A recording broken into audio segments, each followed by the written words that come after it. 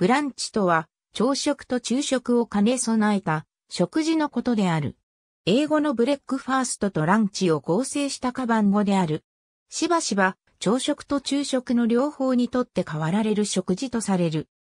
ブランチの語の初出は19世紀の1896年頃とされる。イギリスのハンターズ・ウィークリーという週刊誌にこの言葉が載り、そのことを雑誌のパンチが紹介したことからアメリカやカナダに広まり、学生の間でスラングとなった。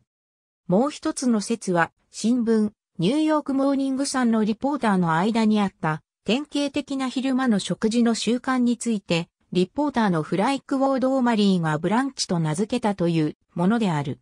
午前10時より前に食べ始める食事の場合はブランチとは考えられない。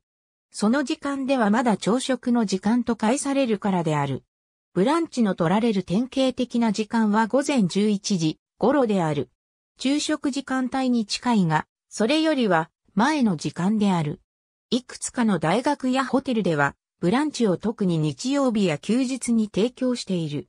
それらは大抵はセルフサービスのブッフェだったりするが、メニューから食事を注文することもできる。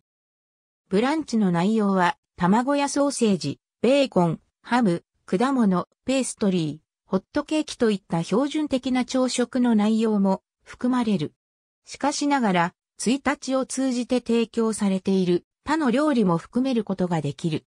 ブッフェではキッシュや肉のロースト、エビや魚の燻製といった冷たいシーフード、サラダ、スープ、野菜、多種類のパン、そしてデザートなどが提供される。ミモザ、ラモスジンフィズ、ブランデーミルクパンチ、ベリーニ、ブラッディマリーなどは人気のあるブランチカクテルである。点心は世界中の中華料理店で供されている人気のあるブランチである。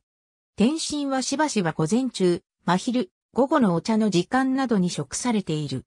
レストランやホテルでは、結婚披露宴やバレンタインデー、母の日といった特別な機会に用意されている。